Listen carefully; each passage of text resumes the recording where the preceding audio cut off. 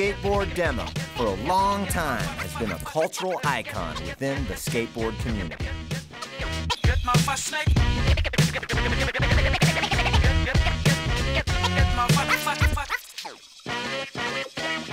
We like to do these events because we feel it's what skateboarding is all about. Just kind of put on a little show and skate with the locals. That's just people skating, having fun, I guess.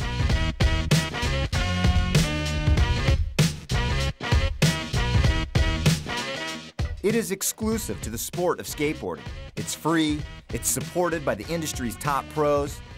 It is part of skateboarding's core.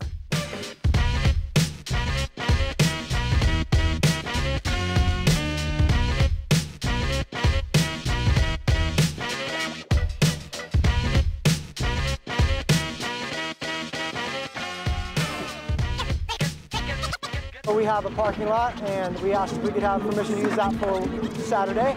And we built um, ourselves a, only a 16 foot wide vert ramp. It's kind of a narrow, full size vert ramp. The only thing unique about it is that we had to put it up and down from scratch. And uh, we have two days basically to build it. Skate demos are rad, like when you're a little kid or even when you're an older guy like myself, because it brings like everyone together, like all your friends and everyone in the industry and you get to see what's kind of going on. You could never go and meet Michael Jordan somewhere.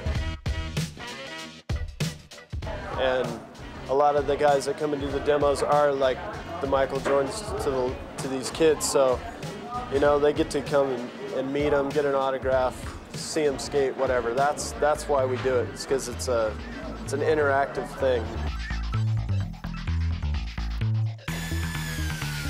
One of the many rulers that showed up was the Etnies team rider Brian Patch. Won all sorts of contests, hanging out with the kids, kicking down a sick bag of tricks.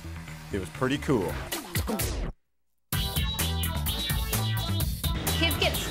Because they get lots of free stuff when they come to things like that. We have stickers, the pros are handing out autographs, um, free t-shirts, videos. Yeah, it's a good time. Pretty much everyone leaves with something. If you get a chance, go and hang out at a shop demo.